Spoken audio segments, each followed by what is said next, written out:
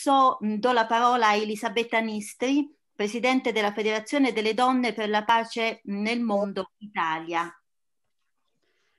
Buon pomeriggio, buonasera a tutti. Grazie per eh, averci seguito fin qua, gli ospiti, i relatori, anche gli ospiti ci seguono ovviamente da casa e gli amici. Ho ascoltato con interesse e mi sono ritrovata e condivido tante riflessioni delle relatrici che mi hanno preceduto. Eh, come alcune di voi io mi trovo a rappresentare due posizioni. Eh, inizierò parlando della Federazione delle Donne per la pace nel mondo, che non ha un target propriamente religioso. È una ONG con status consultativo riconosciuta alle Nazioni Unite dal 1997 con uno status di primo livello che ha mantenuto da allora perché è stato riconosciuto ogni anno fino ad oggi.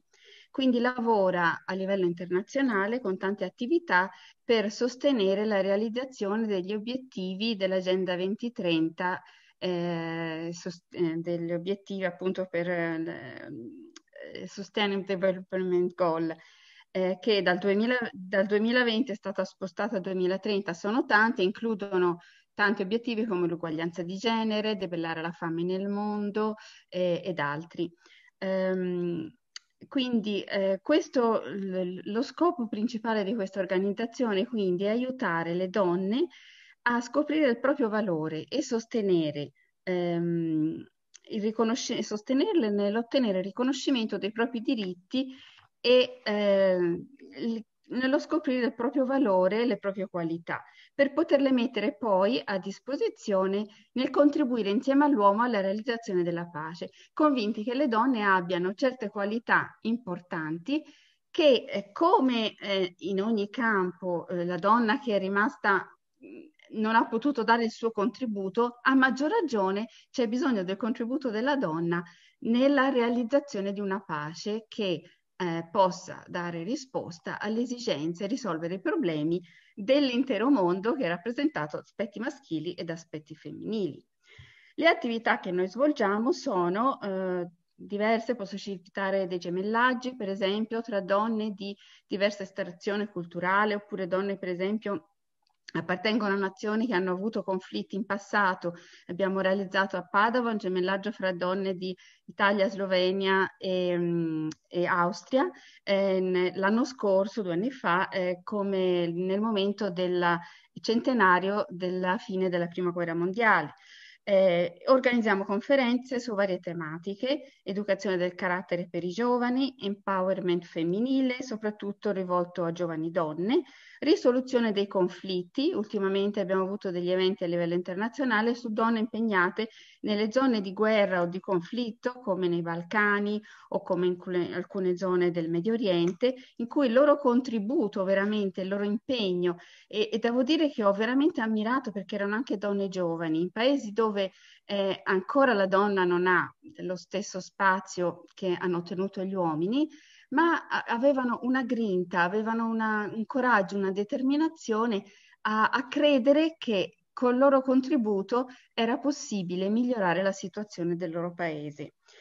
Eh, abbiamo progetti di aiuto umanitario come un sostegno all'educazione dei bambini in un campo profughi in Giordania, eh, abbiamo re- più recentemente aiutato anche durante l'emergenza Covid un ospedale di Bergamo e eh, ci stiamo attivate, anzi già abbiamo organizzato una grande raccolta fondi importante ehm, rivolta a Beirut a causa di questo disastro che è accaduto appunto in, nel Libano, ehm, dove abbiamo potuto contributi alle famiglie che avevano più difficoltà. Non so se sono io che ho, che ho creato questo problema. Eh... No, ti vediamo bene, ti vediamo ah, bene. ok, ok, vado avanti. L'organizzazione eh, Federazione delle Donne per la Pace nel Mondo è fondata dal coniugi Moon, che sono i fondatori di tante organizzazioni per la pace, ma, ma alle origini di tutte, prima di tutte, la principale che ha dato eh, organizzazione fond- fondata dal Reverendo Moon è stata quella che eh, viene magari comunemente conosciuta come Chiesa d'Unificazione, attualmente chiamata Federazione delle Famiglie per la Pace nel Mondo, che si basa su principi divini.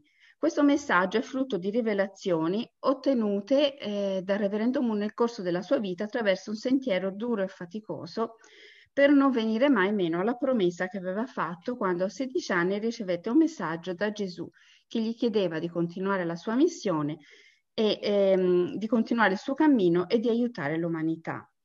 Una grande importanza nel messaggio dei principi divini viene data alla Genesi e alla interpretazione delle tre benedizioni. Infatti, come è scritto in Genesi, nel capitolo 1, versetto 26-27, eh, e Dio disse, facciamo l'uomo a nostra immagine e somiglianza, e domini sui pesci del mare, eccetera, eccetera. Nel versetto 27 leggiamo, Dio creò l'uomo a sua immagine, a immagine di Dio lo creò, maschio e femmina li creò. E ancora, Dio li benedisse e disse loro siate fecondi, moltiplicatevi, riempite la terra. Questa è la prima dichiarazione dei diritti umani. Uomo e donna sono fatti a sua immagine. Significa che ambedue rispecchiano la natura che è in Dio e danno quindi ambedue una scintilla le origini del femminile quindi sono in Dio, nella causa originale, e noi dovremmo riflettere la sua natura femminile, così come gli uomini dovrebbero riflettere quella maschile. Dio è nostro padre e madre e noi siamo figli e figlie a sua somiglianza. Alle origini, almeno, questo era, diciamo, eh, una scintilla che Dio ci ha dato all'origine che continua a trasmettersi ad ogni persona che nasce, e quindi perlomeno dentro ognuno di noi c'è questa potenziale scintilla che ci potrebbe permettere di diventare addirittura perfetti, come Gesù diceva, siate perfetti come perfetto il Padre vostro che è nei cieli. Quindi non è presunzione o arroganza credere nel potenziale che ciascuno di noi ha come uomo e donna di crescere al punto tale di rappresentarlo, eh, di, di, come dire, ecco sì, di rappresentarlo, ma crescere in che cosa? Attraverso la prima benedizione, che riguarda appunto l'aspetto di crescere, ogni individuo avrebbe dovuto raggiungere una maturità interiore, spirituale, come uomo e come donna. Quindi questa perfezione significa una, una crescita del carattere capace di comprendere e amare se stesso e gli altri in modo ehm, assoluto, vuole dire tante cose, ma giusto per darvi un'idea, è una crescita non, so, non, non solo nell'intelligenza, nella, nelle competenze, ma soprattutto nella capacità di amare. Quindi uomo e donna crescono individualmente per raggiungere questa meta ideale che è anche eh, la possibilità di comunicare direttamente con Dio e di ricevere da Lui direttamente guida, ispirazione, consiglio e di comprendere eh, quindi la capacità di amare come lui ama. Con la seconda benedizione eh, si raggiunge l'unità e l'armonia di coppia che porta a realizzare la famiglia e moltiplicare così l'amore di Dio anche attraverso i figli. Quindi quest'uomo e donna che hanno raggiunto una piena maturità del carattere eh, e un'unità con Dio condividono questa unione insieme a Dio. Dalle parole del reverendo Mu leggiamo, Dio ci ha creato perché potessimo conoscere la gioia crescendo e sperimentando il vero amore. Il livello della nostra capacità di amare è lo standard che ci qualifica o meno come persone perfette e veri figli di Dio. La persona perfetta, quella che capisce il cuore e i desideri di Dio, è la persona che è unita a Dio in amore ed è capace di amare eh, come Dio ama. Né l'uomo né la donna possono raggiungere questa perfezione seconda, diciamo, questo secondo livello da soli, ma solo attraverso l'unione nel vero amore che si sperimenta nella coppia. La donna quindi ha un ruolo fondamentale al pari dell'uomo, anche se ovviamente con caratteristiche diverse. È come se Dio abbia creato apposta, eh, ci abbia creato apposta con caratteristiche diverse, ma interdipendenti, proprio per spingerci a sperimentare la gioia del dono e ad unirci per arricchirci a vicenda c'è un principio che riconosciamo nell'universo che è quello del donare e del ricevere. Ogni cosa si moltiplica o crea energia o, o si raggiunge la gioia quando noi doniamo qualcosa e, e, e quando esiste uno scambio tra, tra gli esseri. E lo scambio tra i nostri pensieri e le nostre azioni prima di tutto e lo scambio poi nella relazione con gli altri, con gli amici, eh, nello scambio della relazione di coppia questa unione diventa non solo interiore ma anche ovviamente eh, fisica. E, mh, il maschile indica una componente, possiamo dire quella razionale, logica, ordinata, il femminile la componente istintiva, emotiva, amorevole. L'armonia nella coppia e nella famiglia è la base del regno dei cieli in terra, in cui Dio si può manifestare in modo completo. Nella relazione, nella cura dei figli, addirittura, eh, noi possiamo sperimentare, insomma, in questo nucleo che poi è la famiglia, addirittura quattro tipi di relazioni di amore. Eh, possiamo prendere eh, come prima la, la relazione geni- che i genitori hanno verso i figli, eh, amandoli, curandoli, no? eh, avendo cura da loro fin dall'inizio, sperimentando questo cuore di amore quasi incondizionato, diciamo, e anche sacrificale. Poi c'è l'amore tra fratelli e sorelle che condividono insieme tanti aspetti della vita, è, è simile all'amore tra, tra gli amici, a livello dell'amicizia. Poi c'è l'amore che i figli piano piano, crescendo, imparano a rispondere, a tornare indietro ai genitori, magari con l'età, quando i genitori hanno bisogno di aiuto, imparano a comprendere i genitori. Prima è una, un amore molto verticale di rispetto e poi questi ruoli addirittura si scambiano, addirittura nell'età avanzata i figli diventano quasi genitori e viceversa. E poi c'è questo amore di, di, della dimensione di coppia, che magari è proprio il primo da cui la famiglia si crea, che assume tanti ruoli, tanti aspetti, tante posizioni diverse, addirittura ehm, ehm, ci sono situazioni in cui eh, la, la, moglie può sentirsi madre nei confronti del marito, ma il marito anche può assumere una posizione di padre nei confronti della, della moglie, vista come figlia, ovviamente come marito e moglie a livello e anche come fratello e sorella per avere stessi obiettivi, stessi scopi. Eh, come potete rendervi conto, qui si parla di un obiettivo molto grande. È una visione nella quale il reverendo Moon ha incoraggiato a credere e, eh, ed impegnarci a realizzare noi per primi, mostrando l'esempio di amore e cura verso noi stessi e verso il prossimo. Ci sono quindi dei corsi importanti di formazione per la preparazione al matrimonio, eh, nell'ambito del nostro movimento, in cui si cerca di aiutare i giovani a, ad affrontare questo importante impegno con serietà e con responsabilità. Eh, eh, ho sentito, ecco, riferendomi a quello che ho sentito precedentemente, ehm, in quanto eh, c'è, c'è, stato fatto molto lavoro eh, per, per fermare il problema della violenza sulle donne, eh, ritengo sia anche importante eh, aiutare eh, uomini e donne a comprendere qual è eh, la, la, strada, come dire, prevenire questo e aiutare uomini e donne a capire qual è una relazione che funzioni, perché tante volte questi omicidi, questi femminicidi sono, eh, sono passano per, per, eh, per, una forma di amore, vengono addirittura perché l'uomo si sente abbandonato e allora per mancanza di amore. Quindi si parla veramente di relazioni di amore con delle basi totalmente sbagliate. E questo è importante fare formazione, soprattutto educazione, soprattutto nei giovani. Bisognerebbe aiutare i giovani nel, nel loro percorso di crescita, soprattutto nell'adolescenza, a imparare a gestire le emozioni, a riconoscere le emozioni e a capire eh, come incan- incanalarle, quali, quali emozioni ascoltarle e capire anche che certi comportamenti portano a certe conseguenze veramente pesanti. Quindi è veramente importante la formazione dei giovani abbiamo le scuole che offrono il meglio che possono per quanto riguarda la cultura, ma non si dà abbastanza importanza alla formazione del carattere, che poi è quello che ci accompagna nella vita e ci permette di raggiungere più o meno una felicità e anche una serenità interiore. Quindi questo cammino di cui sto parlando non è un cammino facile, anche perché tutti noi veniamo da una storia di conflitti, di violenza che portiamo anche nel nostro DNA spirituale. È come se ehm, noi abbiamo uno, uno spirito che è il risultato anche di dei nostri genitori. E la, la, storia è una storia veramente di sofferenza, veramente triste. E come è stato citato, non è solo adesso che le donne subiscono ingiustizie, per cui il cammino non è facile. In questi corsi di preparazione che noi facciamo al matrimonio cerchiamo di eh, quindi aiutare, se ci sono delle problematiche, di risolverle prima, di affrontare questa relazione.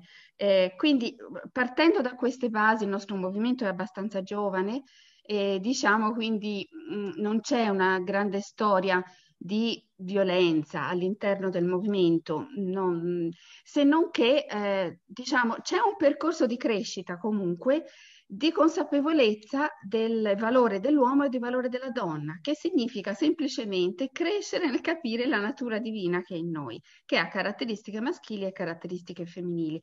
Per fare questo bisogna assolutamente alleggerirsi dell'egoismo, che eh, è, diciamo, la, il, il, il, fardello che ci portiamo e che ci impedisce di crescere e di comprendere veramente la natura più profonda eh, di Dio ehm, il lavoro che stiamo facendo come Federazione delle Donne è anche organizzare dei convegni come quello che sta andando avanti in questo periodo dal tema La bellezza del mondo femminile.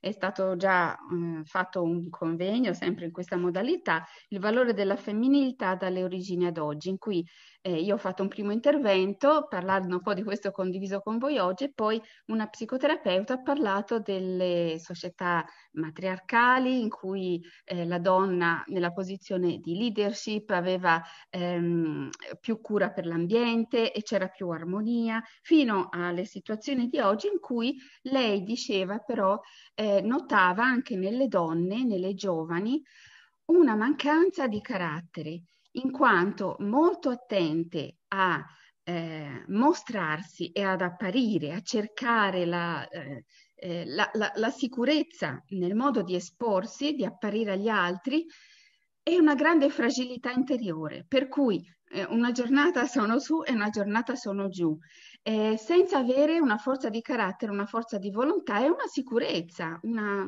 consapevolezza del loro valore, della propria identità.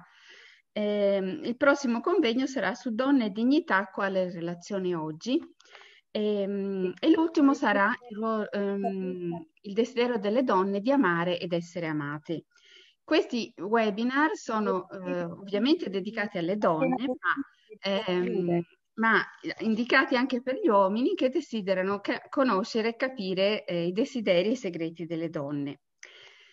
All'interno eh, della Federazione delle Famiglie, eh, quindi sto facendo un salto tra la Federazione delle Donne, che come vi ho detto è una ONG e ha questi obiettivi, la Federazione delle Famiglie è diciamo l'aspetto chiesa invece del movimento, alla guida spirituale della comunità nella maggior parte dei casi c'è una coppia, eh, quindi è una coppia che guida eh, la comunità, guida i fedeli, proprio perché questi due ruoli e due caratteristiche insieme si prestano meglio eh, a comprendere e, e, a dare aiuto, sostegno spirituale a, alle famiglie e agli individui che, che ci seguono.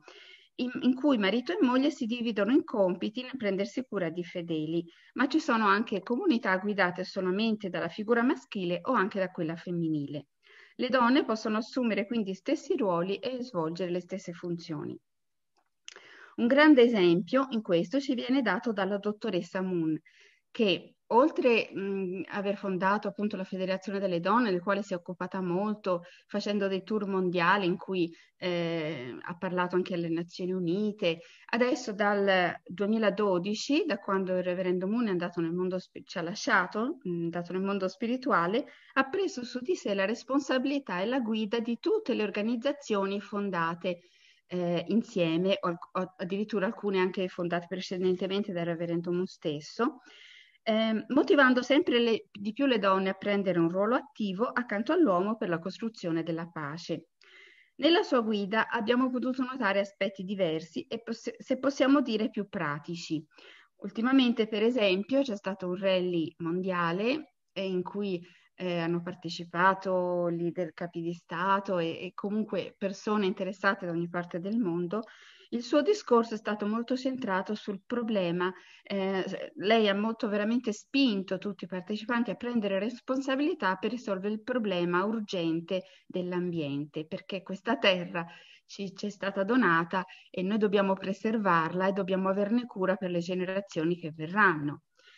Ehm, concludo quindi con alcune frasi della dottoressa Moon eh, in cui lei ci ha ricordato il fatto che il ruolo della donna e la sua natura innata siano diversi da quelli degli uomini, non significa che il valore della donna sia minore e il suo status inferiore.